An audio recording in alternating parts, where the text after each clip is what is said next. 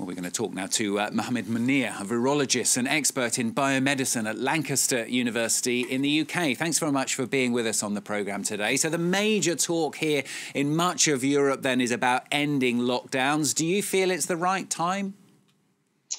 Uh, well, if we look onto the data, the number of cases have significantly uh, re- reduced, and uh, this is really testament for the excellent social distancing that been practiced. But of course, we can't stay into this situation forever because what we are looking at the vaccine become available at end of this year or early next year.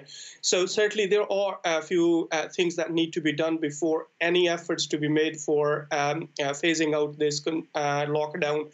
But but we have to do it at some point, and there are a few a few important aspects need to be considered. One of the things that I would really like to emphasize is that until the infrastructure for mass testing and uh, contact tracing is not in place, it would be too risky to put uh, these uh, uh, draconian measures that have been put in place aside because that would turn out to be leading into a second phase. Where do you draw the line, though? And it's always impossible to know exactly where the right point is because if those infection rates start to go up, obviously uh, uh, we're going to be right back where we started.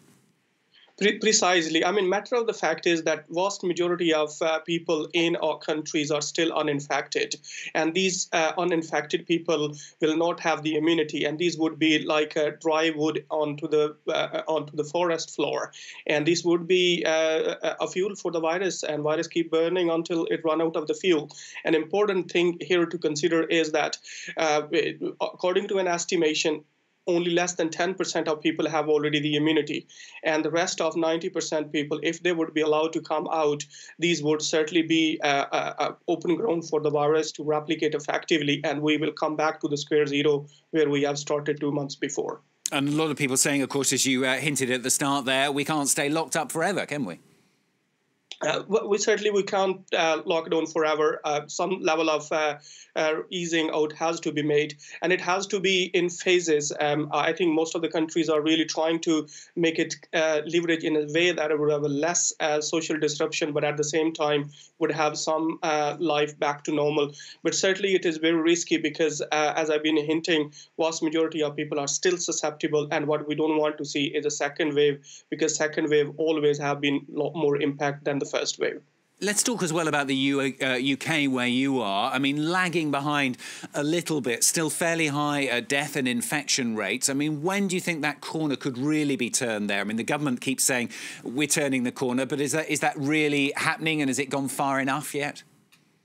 Uh, not really. I mean, one thing is true that our number of uh, mortalities are uh, flattening or decreasing, um, and we probably have already passed the peak, but still there's a long way to go for us, especially here in the UK, because the number of uh, tests we are performing are significantly lower than many other countries. For example, we are only doing um, around eight tests per 1,000 people in the UK, which is significantly lower than France, Germany, South Korea, and these countries have been doing.